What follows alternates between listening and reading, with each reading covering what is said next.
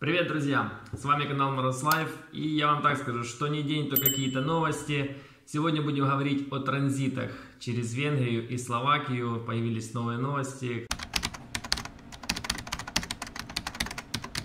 Начнем с Венгрии. Кто не знает, с 1 сентября Венгрия закрывает границу, то есть уже закрыла, по сути. Об этом мы говорили в нашем эфире. Но сегодня прочитаю вам основные новости, правила въезда, транзита в Венгрию и через Венгрию, все эти обновления, ссылочки обязательно оставлю под видео. Спасибо всем тем, кто откликнулся и ответил на наш опрос. Вот. Так вот, ребят, с 1 сентября 2020 года право в'їзду в Угорщину мають громадяни України, які є членами сім'ї громадян Угорщини, які мають дійсний дозвіл на постійне проживання в Угорщині та члени їх сімей, які мають дійсний дозвіл на тимчасове проживання в Угорщині, що дає право перебувати на території країни більше 90 днів. Ну, нас, честно, это как бы, сильно там не интересует, конечно, кто, у кого есть там гражданство в Венгрии, либо у кого есть там тривалый побыт в Венгрии, пожалуйста, с этой информацией можете ознакомиться. Нас больше интересует транзит, вот, потому что есть новые правила. Э, Венгрия также ввела два теста на коронавірус. От, э, І от якраз этот пункт усі громадяни України, які прибувають в Угорщину, обов'язково потрапляють до карантину на 14 днів. По місцю проживання або у шпиталі звільнитися від карантину можливо на підставі результатів двох негативних тестів, виключно в Угорщині на COVID-19, з різницею видачі щонайменше у 48 годин. От такі от діла. Результаты иноземных тестов не розглядаются. Так, так что не нужно делать никакие тесты в Україні, тільки делать нужно там їх. На українсько-угорському кордоні для в'їзду в Угорщину можна використати виключно пункти пропуску Тиса, Лужанка та Вілок. Тобто три пункти, які працюють по в'їзду.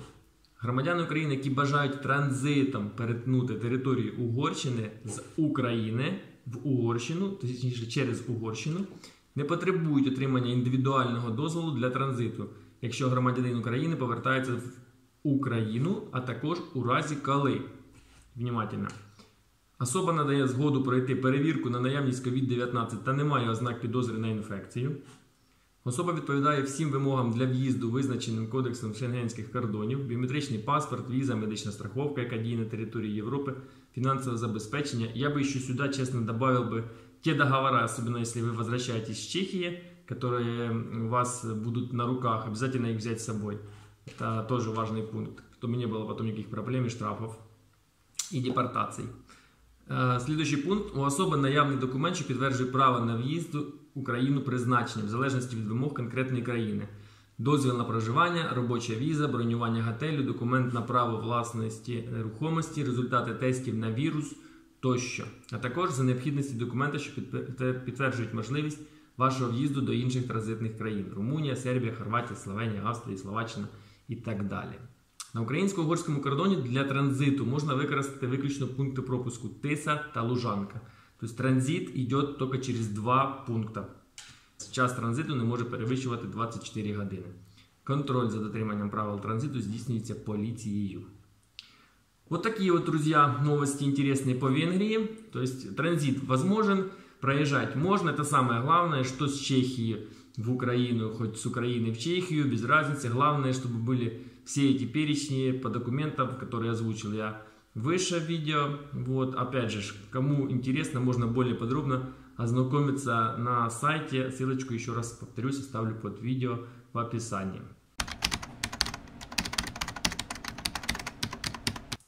Сейчас же переходим к следующей стране, это Словакия. Словакия пошла по той же э, ситуации, как и Венгрия. С 1.09.2020 года изменила правила въезда в свою страну. Всю информацию я взял на сайте посольства Украины в Словацкой Республике. Опять же, ссылочка будет под видео, посмотрите, и там уже расписано все подробно, полностью по границам, по транзитам, по работодателям. Нас інтересує границя. Всі особи, які в'їжджають в Словаччину, зобов'язані пройти реєстрацію на інтернет-ресурсі, е, спеціальний сайт, ще до перетину кордону та надати підтвердження про таку реєстрацію співробітнику прикордонної служби при перетині кордону. Також про прибуття з країн ризику потрібно повідомити свого терапевта, педіатра А якщо його немає, то регіонального лікаря відповідно до місця проживання, тобто там, де ви проживаєте. Недотримання вищезгаданих вимог накладається штрафом у розмірі до 1659 евро. Вот такая вот ситуация, ребят. Поэтому с этим не шутим. Кто будет ехать через Словакию транзитом, обязательно заходим на сайт, э, регистрируемся, делаем все эти, вводим данные. Кто будет это делать, обязательно, ребят, поделитесь э, в комментариях, как это выглядит, потому что, опять же, если сейчас э, ситуация с регистрацией на визы очень плачевная в Украине, интересно, как будет здесь, конечно, работать. Я не думаю, что там большая стоит очередь на пересечение через Словакию, но, опять же, это такая штука, что сегодня сайт работает, завтра не работает. Поэтому делитесь обязательно своїм опитом. А, роботодавці. Роботодавець зобов'язаний перевіряти дотримання своїми працівниками вимог уряду Словацької Республіки щодо проходження домашньої самоізоляції та здачі тесту на коронавірус в лабораторіях Словаччини. Якщо працівник документально не може підтвердити дані факти, роботодавець зобов'язаний повідомити про це регіональний орган охорони здоров'я та заборонити доступ такого працівника до робочого місця. Недотримання цієї вимоги накладається штрафом у розмірі до 20 тисяч євро. То есть э, Словацкая республика взялась так посерьезнее. Они начали штрафовать уже работодателей. Если работодатели халатно относятся, то будут получать штрафы до 20 тысяч евро. А если, опять же, вы там приехали не зарегистрированы, типа я забыл там не знаю, то могут вам наложить штраф до 1659 евро. Как это на самом деле, я, честно, ребят, не знаю, через эти границы не езжу. Я выбираю, предпочитаю самолет, так проще, прямые рейсы в основном. Да, иногда бывают исключения там через ту же Австрию, либо э, Польшу. Был у нас опыт э, такой.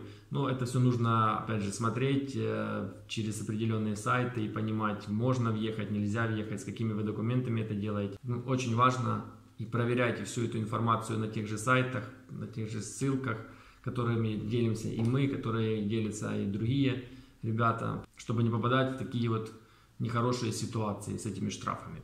Вот такая информация, которую я хотел с вами поделиться. Ну, но мы будем следить за следующими новостями, так что увидимся в следующих выпусках. Не забудьте подписаться на канал, поставить лайкосик этому видосику и поделиться этим видео с вашими друзьями. Всем удачи и до новых встреч. Пока-пока.